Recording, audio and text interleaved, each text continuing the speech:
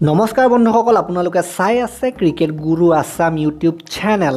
আই P এলত এখন মেচত দেলহি কেপিটেলছৰ হাতত পৰাস্ত হয় ৰাজস্থান ৰয়েলছ আৰু ৰাজস্থান ৰয়েলছ আউট হোৱাৰ পাছত এই খেলখনত এটা বিতৰ্ক সৃষ্টি হোৱা দেখিবলৈ আমি পাইছিলোঁ।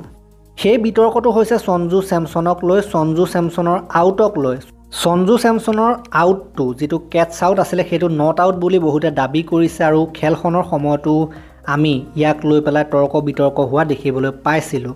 মুকেশ কুমাৰৰ এটা বলত ছিক্স হিটিং কৰিবলৈ গৈ চাই হোপৰ হাতত কেটছ আউট হৈছিলে সঞ্জু চেমছন। কিন্তু সেই যিটো কেটছ ধৰিছিলে চাই হোপে সেই কেটছটোক লৈ পেলাই বৰ্তমান সময়ত ডিমত আছে বহুতে ইয়াক আউট বুলি কৈছে বহুতে নট আউট বুলি কৈছে। কাৰণ চাই হোপৰ যিখন ভৰি সেই ভৰিখন বাউণ্ডেৰী লাইনত লাগি গৈছিলে বুলি বহুতে মত পোষণ কৰিছে। বহুতে কৈছে যিহেতু বাউণ্ডেৰী লাইনত ভৰিখন লাগি গৈছে সেইবাবে এইটো নট আউট হ'ব লাগিছিলে ছিক্সহে হ'ব।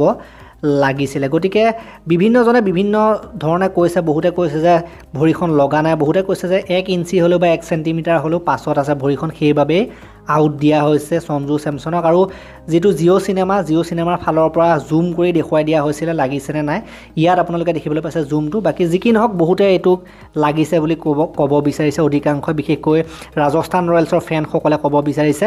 আৰু এই ঘটনাটোৰ পাছত সঞ্জু চেমছনে নিজেও বিশ্বাস কৰিব পৰা নাছিল সেইবাবে তেখেতে আম্পায়াৰৰ ওচৰত গৈ পেলাই তৰ্কাতৰ্কি লগা দেখিবলৈ পোৱা গৈছিলে। কুমাৰা চাংগাকাৰায়েও এইটো বিশ্বাস কৰিব পৰা নাছিল যে কেনেকৈ থাৰ্ড আম্পায়াৰে এইটো আউট বুলি ঘোষণা কৰিব পাৰে। আচৰিতভাৱে দেলহি কেপিটেলছৰ যিজন অ'নাৰ পাৰ্থ জিন্দাল পাৰ্থ জিন্দালৰ ফালৰ পৰা আউট আউট বুলি চিঞৰা হৈছিলে। গতিকে সেইটো যথেষ্ট অশুভনীয় দৃশ্য আছিলে। এজন সাধাৰণতে মালিক হৈ পেলাই এনেকুৱা ধৰণৰ ব্যৱহাৰ কৰাৰ বাবে বিভিন্ন ধৰণে সমালোচনা কৰিছে বহুতে কিয় এনেকুৱা কৰিব লাগে বুলি আউট আউট যিহেতু চিঞৰিছিলে তেখেতে।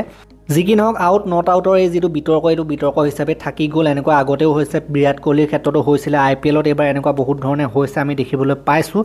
আৰু যদি ৰাজস্থান ৰয়েলছৰ কথা ক'বলৈ যাওঁ তেওঁলোকে খেলখনেই হেৰুৱাই দিলে বুলি ক'ব লাগিব। যদি এইটো কেনেবাকৈ নট আউট হ'লহেঁতেন সঞ্জু যদি থাকিলেহেঁতেন তেতিয়া হয়তো খেলখনৰ ফলাফল বেলেগো হ'ব পাৰিলেহেঁতেন বাকী যি কি নহওক আপোনালোকে কিভাৱে আউট আছিলে নট আউট আছিল সেই বিষয়ে কমেণ্টত জনাব। আৰু এই ভিডিঅ'টো ইমানতে সমাপ্ত কৰিলোঁ। ভাল লাগিলে যদি লাইক কৰিব শ্বেয়াৰ কৰিব। চেনেলটোলৈ নতুনকৈ আহিলে ছাবস্ক্ৰাইব কৰি ঘণ্টাটো দবাই দিব। ধন্যবাদ।